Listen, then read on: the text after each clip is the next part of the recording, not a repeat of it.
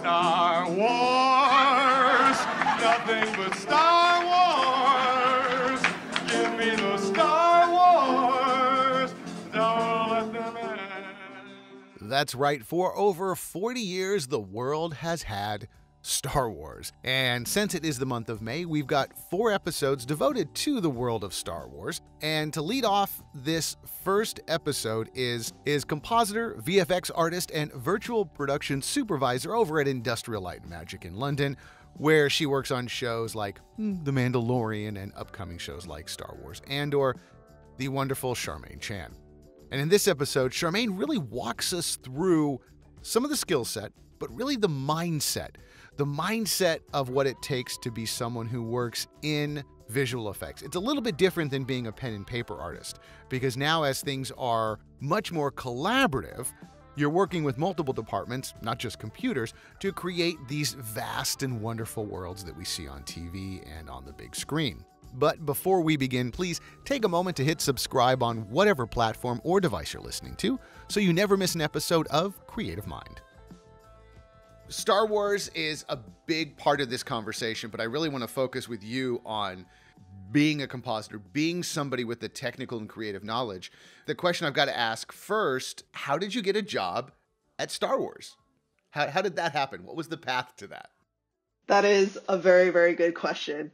It was one of those things where, you know, funny enough for me, ILM was actually more of a bigger influence on me revolving around Indiana Jones than it Ah, was good, for good. Star Wars. It was one of those people who definitely jumps on the Star Wars bandwagon probably a little later in life. I didn't watch the first Star Wars until maybe high school or something like that. Getting into ILM is tough. That's without a doubt.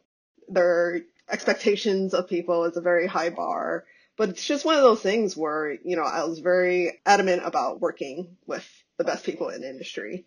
And for me, I wanted my foot in the door no matter what that position was. I actually originally applied for an art department PA position. And the recruiter who was working with me actually looked at my resume because I had a lot more scripting and programming in my background and it definitely catered more towards TA, which is a technical assistant type of position. So she asked me if I would be interested in applying for that instead. Just to clarify, for when you were saying art department PA, I come from a, a bit of a film background. So is that the actual, you know, let's let's set up stuff, grab the paper towels, clean up after we're done, let's do this, build those boxes type PA, or was it more of a digital art direction department? I think it was a little bit of both because I feel like the art department PAs definitely will need to bring in whatever materials are needed for the artist and, you know, help assist whoever needs extra hand. But, you know, at the same time, we are a very digital medium. So you will be helping prep files or like convert things or send things, typical digital kind of media that's needed. I felt like I was very much experienced for that type of role but it seemed like they wanted to utilize my technical background a bit more and they felt the TA position would work better and I interviewed for that and luckily I answered everything right and you know they gave me an offer to be a TA. How long have you been at ILM now? I've been at ILM it'll be 15 years in January so about quite a good chunk of my adult life. So you are fully immersed into the industrial light and magic world. Oh, I mean, that- that's rare for anybody to have that long of a career at one place, which is not to glad hand them, but I mean, just that must be a really nice place to work if you've been there for 15 years. There must be something there special for you that makes ILM and working in that world unique. Can you tell us a little bit about that? Oh, absolutely. I mean, I'm generally a person who, unless I'm learning and growing, there's no reason for me to be somewhere. And I feel like ILM has been such a great environment that pushes for that type of mentality. And everyone there, like, hands down, the people make the company. Like, everyone is so friendly, so nice, but also so knowledgeable and so skillful. You can't really get any better of a deal, right? Like, once you get in there, you get to work with and learn from the best. And, you know, even though there's people who've been there from 40 years to those who just started, they all have such a different set of skills that once we like collaborate and combine them all together, we get those like amazing results that you see on the screen.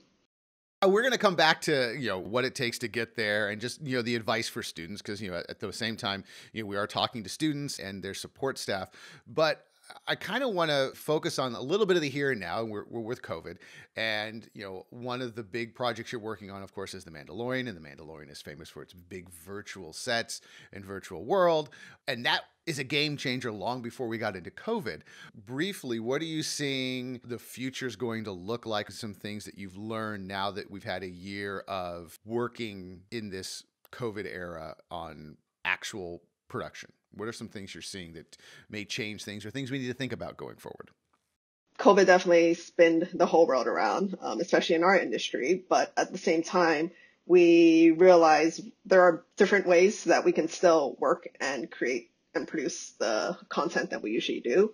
Working from home is definitely very different, but you know, we had an amazing IT team that was able to get us up and running so that we can still work on our content. But at the same time, you know, there are some downfalls of not being able to see your colleagues and like collaborate super easily. Cause I think one of the best things about working in an office is like you can just walk over to someone's desk and be all like, Hey, that looks super cool. What'd you do there? You know, we kind of lose that in a working from home scenario, but at the same time, I feel like one of the things that working from home has been good about was that we can now we never used to really everyone be able to dial into dailies. Like you would get called into dailies and everyone just comes in one at a time. Nowadays, you can just hop into any Zoom call, watch dailies, and, you know, actually see content from stuff that you're not working on and seeing how other people are, you know, doing their shots as well. Again, there's pros and cons to it all, but I feel like working from home perspective, there's definitely been some pros for sure. But beyond just working on visual effects post-production content, one thing great about Mandalorian is that it definitely kickstarted the conversations and ideas with a lot of studios and clientele about shooting at a single stage location, right? So because of COVID, we're so locked down to just being in one kind of area. It makes, you know, shooting on lo- location very difficult. And with virtual production, especially with real time rendering and the LEDs, we can be in New York one day Iceland the next day and it's all, you know, like all there loaded. Or actually you can all be there in the same day, right? We're just changing different loads. So it reduces the need to have a cast and crew fly all over the place and put them at risk during this pandemic and limit it to a very safe environment where people are constantly being tested and adhering to COVID standards and still give the ability for the directors and the crew to create and film what they need. Well, that's good because that that's kind of the question. All you know, we're always having it's like, ooh, what's going to happen? It's like, ooh, some of this is working out. Some of this work from home is working out. Some of this COVID stuff, we're finding new ways to do it. And it's interesting how it does kind of dovetail, and you know, with Mandalorian being the new way of working or a possible new way of working. I don't want to you know harp on the Mandalorian all the time, but for you as somebody who has spent a lot of time in visual effects and compositing is Mandalorian the future or is it a tool in a toolbox? Let me rephrase that again. It's not the Mandalorian. Is the way we're making the Mandalorian and the LED walls and these virtual sets, do you see that as a new way of doing things or just a tool in the toolbox? Everyone is very much wanting to shoot everything real time rendered, LED walls, you know, that whole virtual production suite of tools. But there's a very specific. It's so easy. We never have to fix it in post, right? Yeah. exactly. Exactly. It's like you just push a button and everything comes up magically, right? And it's like lit it's and just set that up easy, exactly right? how it should be. Yeah. No. It is definitely more a tool to help creatives get what they need. I feel like it's there as an aid. It's there to be an additional toolkit for gaffers, for DPs, for directors it's not so much the answer for how you should shoot everything going forward. Cause yeah, like I was saying earlier, I feel like the LED is used best for very specific scenarios such as set extensions, environment work, but you know, in no way is it replacing how actually shooting live. That will always be needed. That will always be our grounding, right? It's our foundation of what we see as real out there.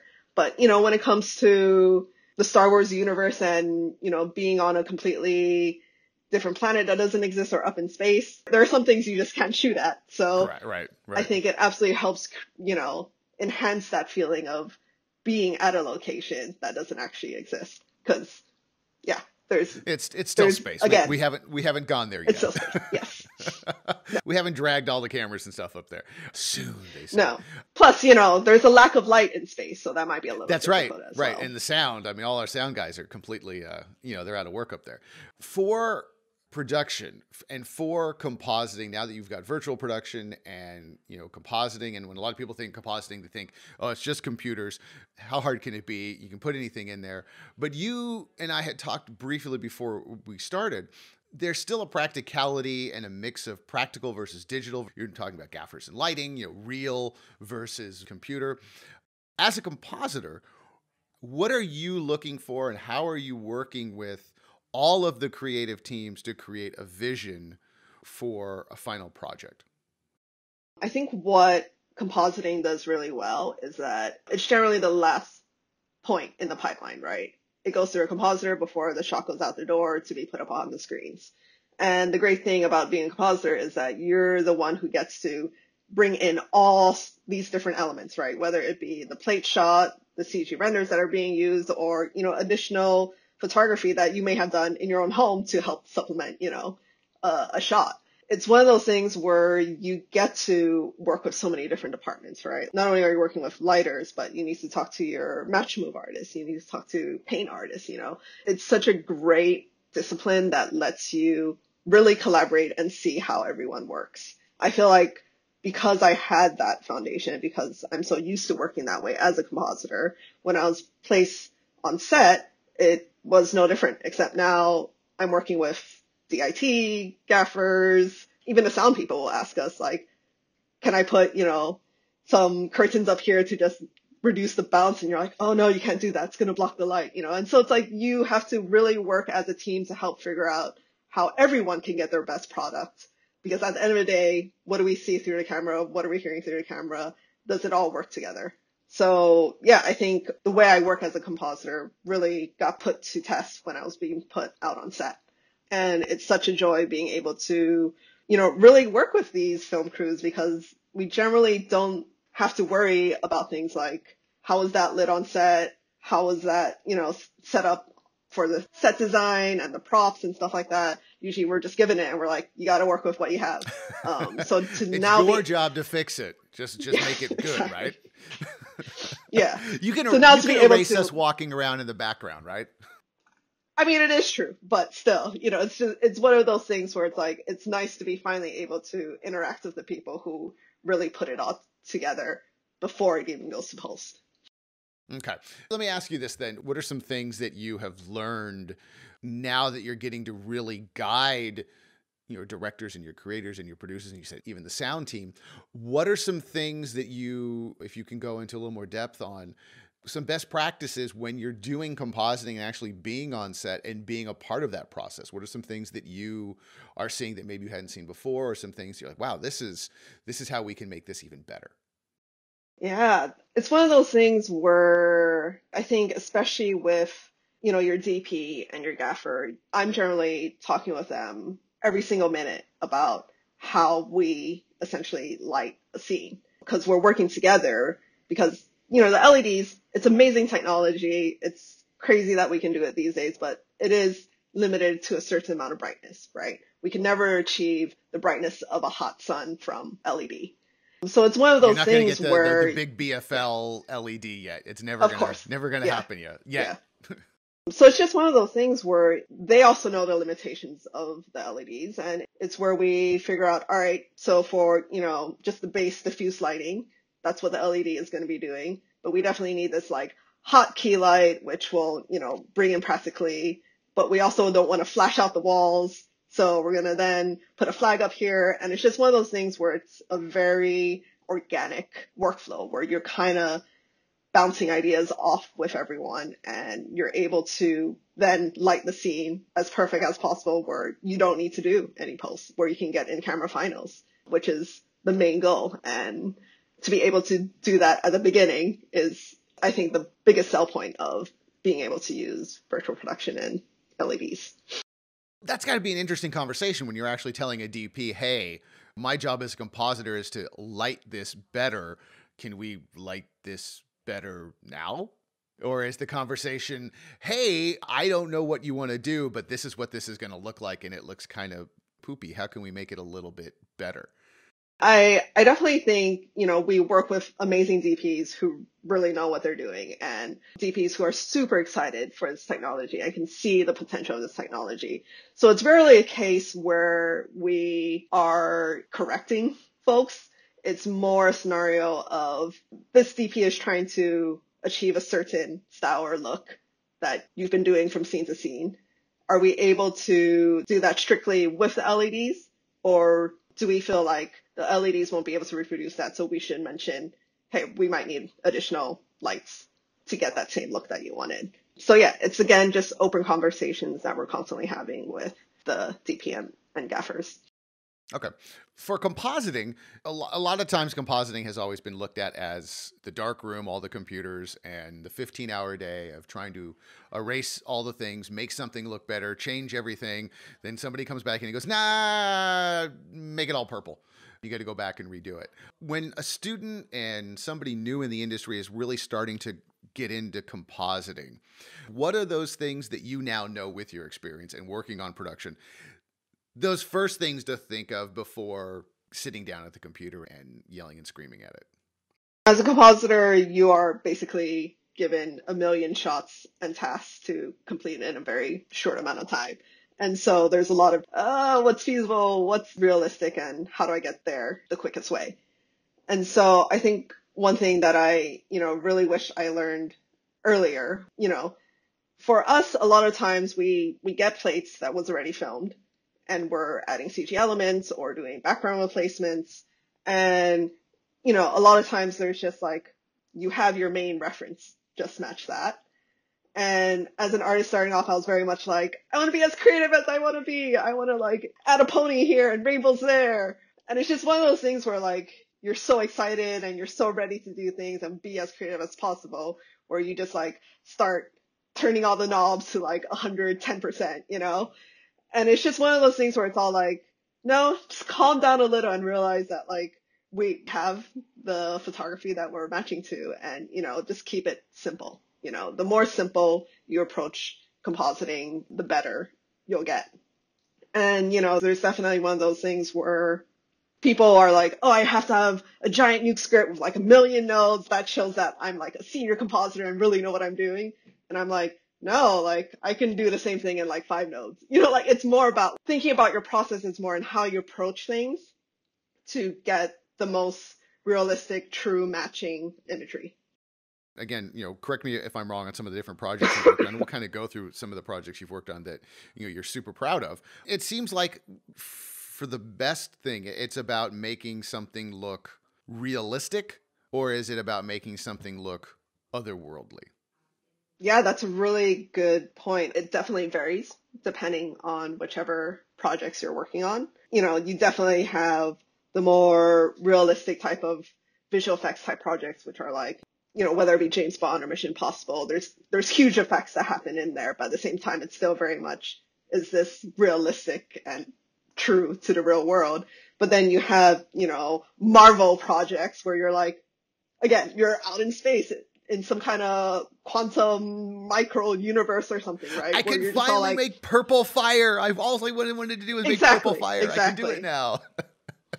and so even though there's like those two ends of the spectrum, at the end of the day, even though there's those super unknown, like you have nothing in the real world to actually see that, we still try to ground that to reality. Like you're saying purple magic fire, sure, there could be purple magic fire, but like first off, how does fire look? How does fire work? How does the light of fire interact with things?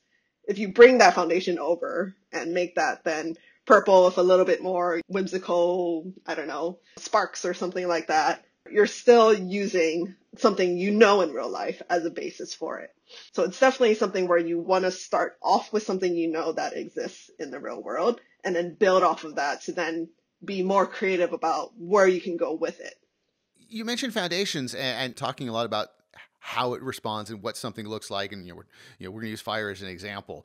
How do you study or visualize or look at something that you're now recreating? What is it that you're looking for as a compositor and an artist that you're just nerding out on how this reacts and looks and feels? What are the things you're looking for to recreate or to enhance?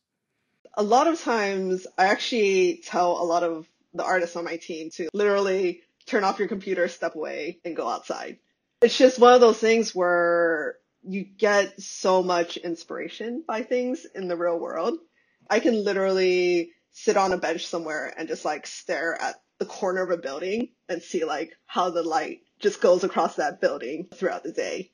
It's just one of those things that I find very relaxing and being able to just like study how light interacts with a lot of things in real life. I think that's why I also really love photography and just being able to capture a moment when you see that like still, it's like, let's then deconstruct it. What's going on in this, you know, image. And so for me, I constantly refer to what I see out my window or, you know, when I'm walking down the street, things like that, because it will always come back to you. And also Google image is your friend. like I'm always constantly like, hmm, rainy day. You that, you know. Where's that? Where's that folder of purple magic fire? I know I saw it somewhere. I'm not the only person to think of Absolutely. That. To me, it's like I love reference. It's I think it's really fun having reference. You know, once you start working in the industry for a while, you're gonna realize that there are definitely themes and things that come up quite often that you need to add within your shot when you're compositing. And so build your own little library of like images you can constantly refer to. Oh, that's interesting because yeah, it, it, does make sense if you're constantly, you know, if, if you become the action movie compositor, it's like, well, you better learn what fire looks like. You better learn what explosions and smoke and debris and rubble and things look actually look like, as opposed to, I think that, yeah, it looks like an explosion. It's good enough because we've all seen those movies where you're like, I don't think that thing's on fire. That doesn't. But there, look- there, there is also actually one other thing which is a good piece of advice is, you know, we definitely have types of people in the industry who are very much like, I need to make this as scientifically accurate as possible. This needs to work within the physics of our world, you know, and it's one of those things where you're going to be constantly fighting with people over critiques like that because there's real world, world science and then there's movie science, right? And right. movie science is more like, does that look cool as opposed to like, oh yeah, the wind shouldn't be working in that way if this object is moving, you know, like you can definitely mo- go into those kind of details, but like at the end of the day, will the director think that looks cool and does that look like what he wanted? I think the probably the easiest way to talk about this because it's always fun. You know, granted you're at ILM, so everything you do is fabulous and amazing, and it's some of the best work ever. And I'm not saying that to be nice. It, it really is. I'm a big Indiana Jones fan. I'm old enough to have gone to a screening of Young Sherlock Holmes and been blown away of that as a kid. Just like, what just happened? The stained glass window guy came alive and it looked real and it scared the heck out of me.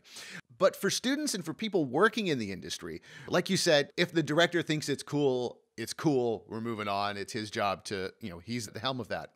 What are some of those badges of shame or some of those bad things or horror stories that that come up when you're working on compositing and working on shots? We're like, okay, this is where this is going to go bad. These are the things we should have fixed before it got to post. Some of the things that we go, let let's spend a little more time dealing with this first before we start, you know, hacking away at it there are a lot of times when shooting, people are stuck on a specific schedule. You need to get things done in X amount of time. There's no room for errors. And so when it comes to shooting, there's been so many situations where people are like, oh, just put a blue screen up there, put a green screen over there.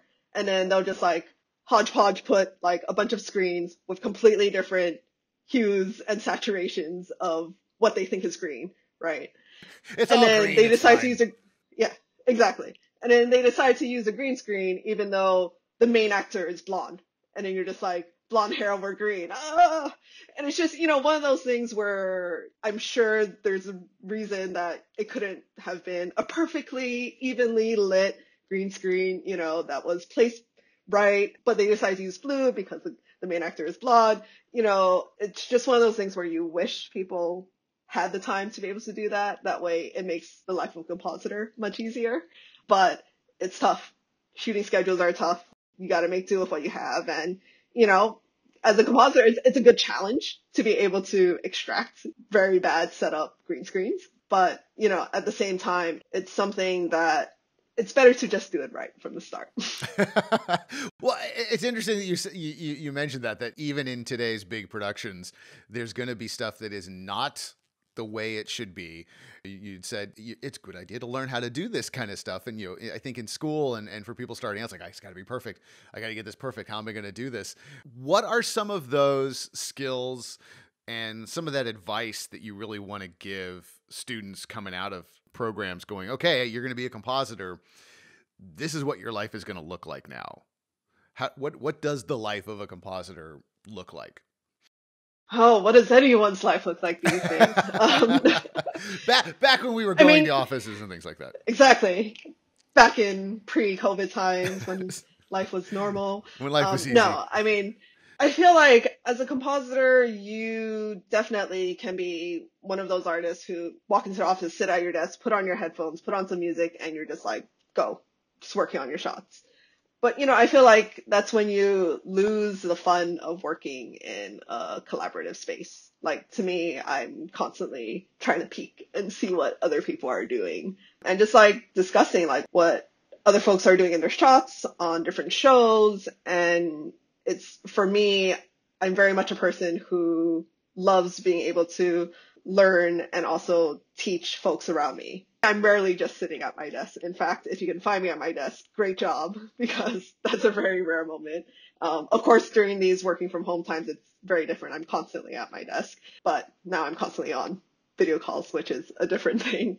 But yeah, I think, you know, a lot of a life of a compositor is very much you work on your shots, submit it for dailies, get your critique and review on your work, go back to your desk and, you know, do another iteration and try to get that shot done in the least amount of iterations you can because it's all about then moving on to the next shot and being able to work on multiple shots. Sometimes you're doing a bunch of different shots at the same time. It's one of those processes where like I absolutely love dailies because that's when we get to talk with the supervisors and other artists who happen to be there, you know, on their thoughts and ideas of like whether or not your shot is working. And so the more you can discuss things and the less you just sit at your desk and work, you know, the more you can get to that final execution of your shot being done. Uh, that because it's it, it's it's it's interesting that you're you're you're you're explaining how you know much collaboration goes into this because I think a lot of people come to I, I, want to work on computers. I like computers. I like this digital world. It, it's I can zone in and zone out. It, it's fascinating how you're saying no. You got to go out and you got to sh- talk to people, look at people, look at things, see things. You know, we talked a little bit at the top about how you got into ILM, but what brought you into this world of wanting to do composite, or was it was it a roundabout way, or it was like I'm going to do compositing, done?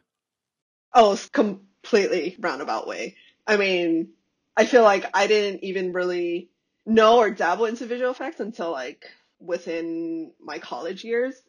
And I feel like it was one of those things where I've always loved art and I've always loved technology. And to me, I'm just like, whatever merges the two together, that sounds like my dream job. And when I was first getting into it, it was more because I was super into the Spice Girls and I was making Spice Girls websites.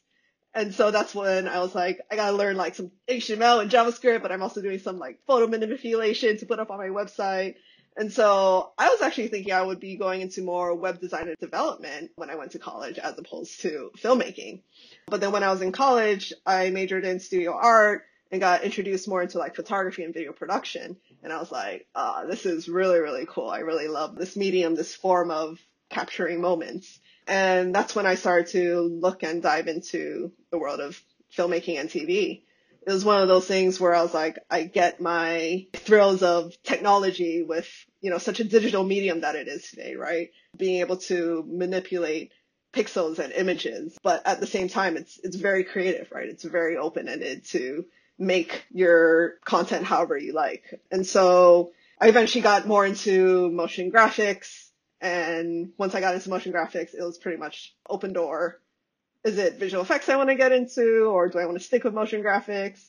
And it was one of those things where, you know, I just wanted to work in a place that would let me interact and learn from all sorts of different types of people, whether it be technology or whether it be art. ILM has always been such an innovation when it comes to filmmaking, whether it be back in the days of, you know, how they did optical printing to nowadays, like, where are we taking the medium of CG and digital art creation?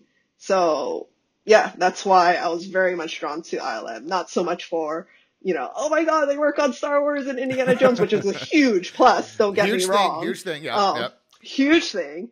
But it, it was more just the fact that they are so enveloped in the history and the pushing forward of innovation regarding filmmaking these days. So yeah. As you explain that makes a lot more sense uh, for people to start thinking, well, you know, what's your company doing? What where are you going to be going? How is your career going to advance and how are you your skills going to advance? That makes total sense. How far away are you from completing the Great Spice Girls CG film? Are you all the way done? That that is a good question. I would. Uh, um, I, I, I, can't I'll disclose that I'll, information. Okay, I'll sign the NDA. but you know, I mean, are we we fully done or just you know? You'll you'll see right. one day. One day. Okay, to shift a little bit. Well, actually, I you know one more question before we shift. Give me your top ten. Oh, your top. I'm not going to force you to answer ten, but moments that you've worked on and projects you've worked on where you've gone, this doesn't look like CG. We did such a good job. This is amazing. What what are some of those projects you worked on or some of those scenes where you just look at and go, yeah, this is the best? That's a really fun question. But it's also a very curious question to me because I'm all like, who defines what that CG look? Well, I, you know, I'm, I'm a long right? time. You know, you know like, I worked in film and worked in photography, and you know, you know, you can sit around with a bunch of photographers and you look, go, you you see that rim light, you see how good that rim light looks. Nobody got thought about that fair, rim light. Fair. I brought that in. It's there. It makes the scene. I don't care what Tom Cruise says. The rim light made it.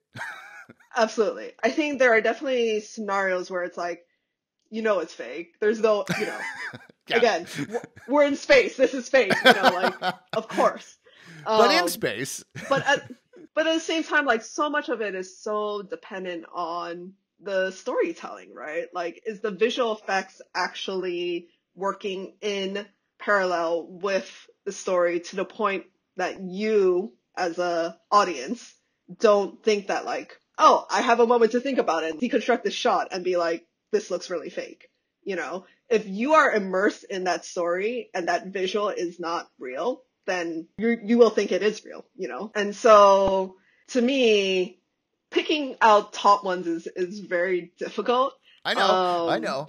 But for sure, I remember when I was working on the Rogue One trailer, and it was the first time we saw like the Star Destroyer and the Death Star. And it was one of those things where John Knoll, you know, was very adamant about making sure that we match the CG to the original Death Star model, to okay. the actual practical set models that were used in the past. And so, you know, it's one of those things where it's like you're matching CG to something that was physically made but doesn't actually exist in life. But at the same time, because of the way it was, you know, being portrayed in the trailer and the story that it was telling, you know, you're not thinking about that looks fake. You're just like, well, this is a really like epic moment that's happening.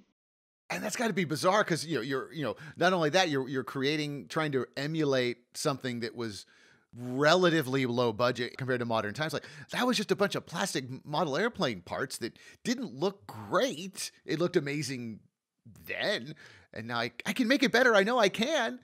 No, there is canon here. There is lore. There is you know there there. You know, yeah, there's feeling. there's so many different facets and reasoning behind why you make a certain CG element or asset, right? And it's one of those things where like you were saying, it, it wasn't a high budget, you know, practical model that they made. But at the same time, again, referring back to what I said earlier, if you keep it simple, sometimes that's the most effective way to show your CG renders, to show your final product. Cause it's, it's when we overcomplicate things and, you know, go way too much. I guess that's what looks too CG, yeah. you know? Yeah. And it's the same thing with, you know, there's all the fuss around digital doubles and like deepfake and machine learning and like, you know, humans that are being reproduced in a CG way. The AI and I feel a lot of, yeah, I feel like a lot of the issue with that is that we're looking to try and reproduce this like perfect human but there's no such thing as a perfect human, right? Like what makes a human register another human is the imperfections of the human form. Things like if your face is asymmetrical as opposed to being symmetrical, you know, that's how like there's definitely ways that our brain subconsciously is aware that things don't look real. So, something, again, it's something one of is those not things. right here. Yeah, yeah. So it's just one of those things where it's all like, stop trying to reach that perfect ideal scenario and allow those human imperfections to also um, show through in your composites, in your shots. That was a very, very, very politically correct and nice way of not saying what you liked better. But then I'm going to ask you a different question then. What's some of your favorite CG moments where you look at and go, that was just cool? Oh, Doesn't have there's to be so one- many of that. Doesn't have Yeah. to be one you worked on. What, what's what's one of the what? Well, as a compositor, you know, we all have our favorite. You know, we all have our favorite thing that, that we've looked at. You know, you know, it doesn't have to be yours, of course. That you just look at and go, God, that thing, that thing just really does it for me. What's one of those ones that you just go, I like that one. Ooh, I feel like, I mean, it's too, super fangirl of me to say this, but in the original Star Wars trilogy, at the end of episode four, there was that scene where Luke is looking out on the horizon with the two moons and it's like a sunset set up. And it's just one of those things where it's all like, it's so beautifully shot. It's so beautifully set up. There's no two moons anywhere for us, you know, in reality. It was clearly manipulated, but again, it's one little thing, but it's such a iconic image that burns in my head. And, you know, it's it, it's it's funny you mentioned something that really doesn't have a whole lot of CG in it. It's a lot of that practical. You know, let's go out to a desert and film it and do our best to match two moon-like substances together to get that story across. That yeah, yeah, that, that's interesting. and you know no no absolutely and and the thing is like you know there's definitely really big cg shots without a doubt the most recent avengers when they all just like come together through all their portals and stuff like that it's a wow moment you know Yeah. in that film it's again one of those things where it's like oh there's also a lot going on and i like my brain just feels super overloaded and i'm like the visual effects artist in me is just like I must deconstruct all of this. What is going on over there? What is going? You know, it's just like one of those things where I'm suddenly just taken out of the film and I just like really want to which so you you can't. So the answer is you can't watch CG without you know putting on your your work brain, going, I see what you did there. I don't agree. I would. It- it, it is. it is very hard to disconnect. That that is for sure. Okay. Um, Okay, that that's a fair answer. That's acceptable. I, I, you know, I had to put you on the spot because you know you're you're the expert on this. I do want to switch gears a little bit because I think you know something that you do personally is so important and so amazing, especially with everything that's been going on. Is your Women in FX group? Explain that for people who've who've not seen it, and I know why it's important, but you know you will do a much better job of explaining it than I will. What brought your Women in FX group to the forefront? What was the reason behind it?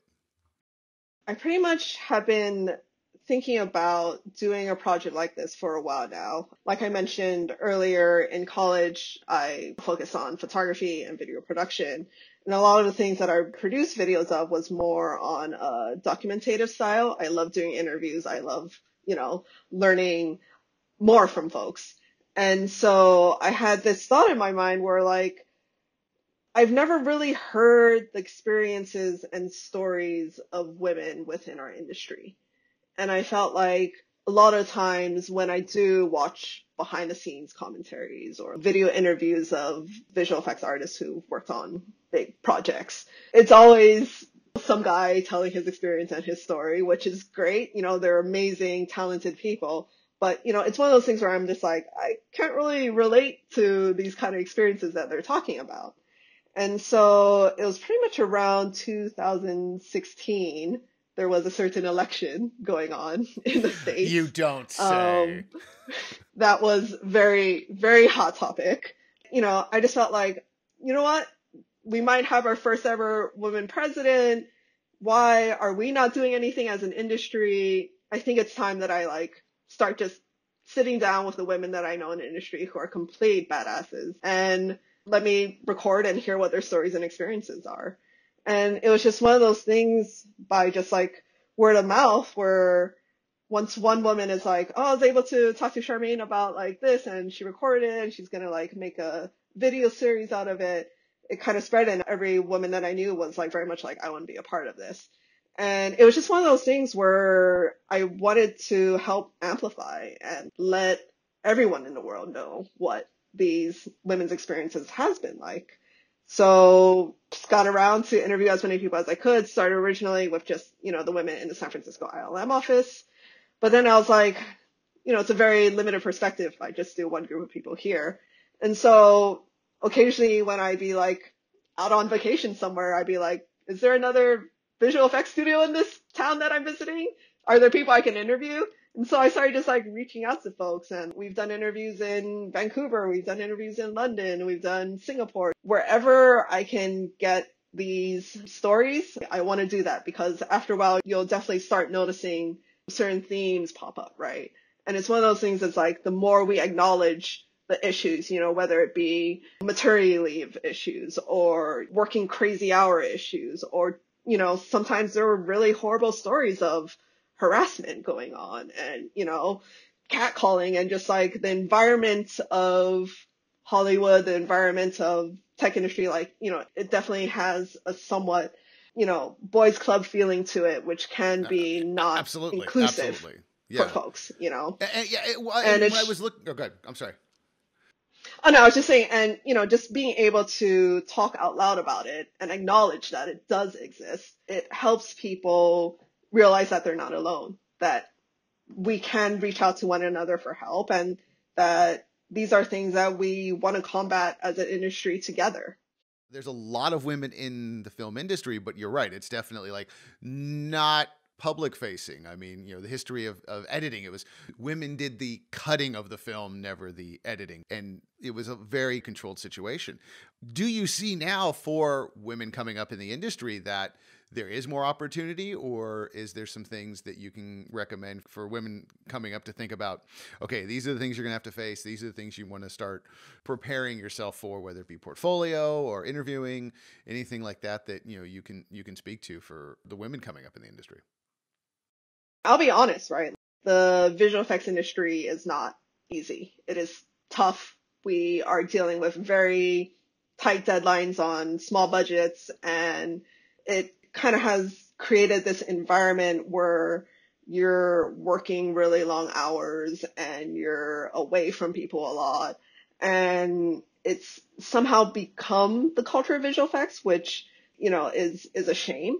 But i think there's a bigger issue besides you know besides there's not enough women in industry. The bigger issue is that we don't create an environment where people can have a life right? We just expect people to be button pushers and get images out the door. And that's, that's not something that's healthy for anyone, nor should be an industry that we should be promoting. But at the same time, I think for us to acknowledge these things and therefore change the culture of our communities to not work long hours and you can still get that shot to look good in eight hours, you know, like don't slave over it. You're more productive as an artist when you've slept Right. than when you haven't slept, you Right. know? And that third 12 hour day, you're just mush. It's like, why we why did you Exactly. do this? What's what's the point of this? yeah, there's a lot of those root things we need to change. And because of that, I think a more diverse amount of people will be more interested in the industry, right? It's one of those things where we've sold this industry as like, oh, you have to work long hours and, and then you'll get those cool shots and then that's how you have your like badge of duty, you know, and honor that you are a VFX artist. And it's like, no, we just need to step away from that. And I feel like the more companies acknowledge that and step away from that, we will get, again, more of that diverse set pool of artists. But, you know, to be honest, in the last 15 years working in the industry, I've definitely seen a huge increase of women coming in, into the industry. I think the hard part is retaining that talent because there's so many of them that are super talented. But, you know, again, life comes up, right? Like if you want to have a kid, it's hard to leave, have your kid and come back and still be at the same point in your career. And that, that's not just, you know, strictly to visual effects. That, that's, an, yeah, that's, that's every- an every- issue every- you know, the- across the board. Yeah. the unfair burden that women are you know looked upon. It's like, well, you you, you went on maternity leave, you're done. It's like, Yeah. And so it's one of those things where if a female supervisor did leave on maternity and came back, she should still be able to supervise. There should be no reason why she can't continue working because now she has a kid. It's one of those things where it's like we need to make sure that we we can do our work in eight hours. Again, it's one of those things where we need to be more realistic about the work that we're bidding out for, um, and not expect everyone to always work overtime. it's, Plus, it's, it's not good for you bottom line either. Well, yeah, a- it's, it's, it's, it's interesting you're mentioning this. There's another person we talked to who works in the film industry as a storyboard artist in a bigger company, and she she mentioned the same thing. And it was interesting that it, it's women bringing these up and being more vocal about it. You would think some of us dumb guys would be the ones saying it, but like you don't need to be working 20 hours a day. It's stupid. What are you doing? This is cruel and unusual. You're absolutely right. I mean, the, hands down. For the women's group, where can we find that information? Because that, you know, as much as we want people to look at compositing, you know, getting support is just as important, if not more. Where can they find out the information on the women in VFX? If you just go to womeninvfx.com, we have our main website there. We also have our Twitter and YouTube handles, which is Women in VFX as well. So it's pretty much the same across Pretty the simple, board. pretty good. Yes. That makes it easy. Cool. Any last thoughts on, you know, what you think? I know there's a million, million, million things, but what's that one thing you want somebody to be thinking about when they're coming out of school? What's that one piece of advice that they really need to keep in the forefront when they're going to be working in the industry? The one thing that I generally tell most folks is that if you are really passionate about filmmaking, if you're passionate about visual effects and visual storytelling, just keep going at it. You might not be doing the role or the task or the shots that you always want to do, but if you keep at it and people can, you know, sense your your love for this, you'll eventually get there and be patient. It's not about getting the biggest shot all the time. It's about so much more, you know, from learning what other departments and disciplines do to basic soft skills where you're like getting to know people because again, back to the collaboration, so much of it is just learning and feeding off of other folks' ideas because that's what helps you grow as an artist and that's what helps you grow as a person as well. So there you go, a little look into the world of virtual production, compositing, and some behind the scenes on Star Wars' The Mandalorian. Because if you've ever dreamed about a career in art and design, good news is more and more art and design career opportunities are on the rise, and employers are always on the hunt for the next generation of talented and, of course, skilled creative professionals. At Academy of Art University, you will get those work ready skills that employers want. You can study on site in downtown San Francisco or anywhere in the world with our online programs. To request info about our 40 plus areas of study in art and design, including visual effects, animation, game design, and more, visit our website at academyart.edu slash creative mind. I'm Bobby Brill. Thanks for listening.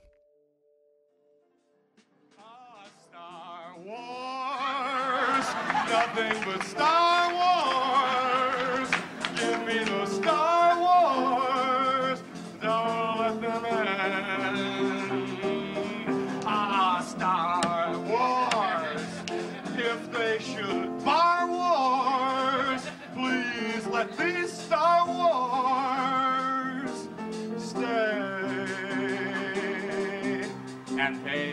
how about that nutty Star Wars bar? Can you forget all the creatures in there? And hey, Darth Vader in that black and evil mask. Did he scare you as much as he scared me? Ah, Star Wars!